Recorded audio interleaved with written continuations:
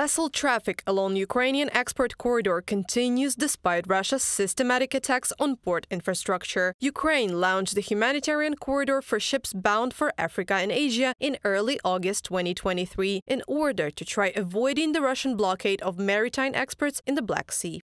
Vessel traffic continues both to and from the ports of Odessa. Six vessels with 231,000 tons of agricultural products on board have left the ports of Odessa and are heading towards the Bosphorus. Five vessels are waiting to enter the ports for loading. Alexander Kubrakov, Minister of Infrastructure of Ukraine in social network X, formerly Twitter. In July 2023, the Kremlin withdrew from the grain deal, which was brokered by UN and Turkey and guaranteed the safe transport of Ukrainian grain in the Black Sea. Since then, the Russian army has regularly attacked Ukrainian port infrastructure. As a result of one of the attacks, the Russian missile damaged a civilian ship which was carrying ore to China under the flag of Liberia near the port of Odessa. One person died and four others were injured. But even despite such risks, there are more and more ships that use Ukrainian Black Sea corridor. At least nine of the vessels calling at Ukraine's Black Sea ports were Panamax vessels. Data showed among the biggest ships that transport grain globally, showing that some ship owners are willing to risk sending bigger and more valuable vessels to Ukraine despite the potential danger, from the Bloomberg publication.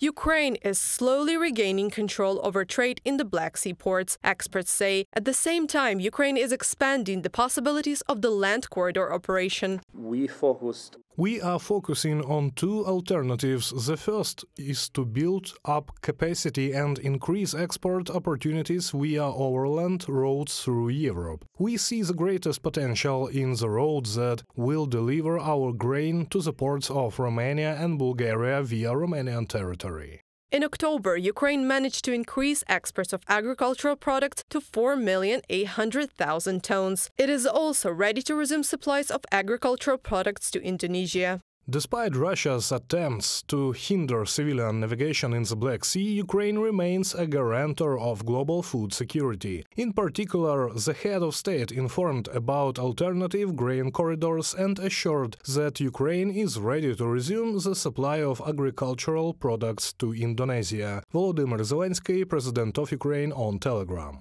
The EU has offered to buy Ukrainian grain to help the Middle East. The head of the European Council, Charles Michel, called such an initiative a strong gesture of solidarity and efficiency. Reported by Anastasia Tarnavska, Natalia Husak, Volodymyr Shtanhelov, UATV News.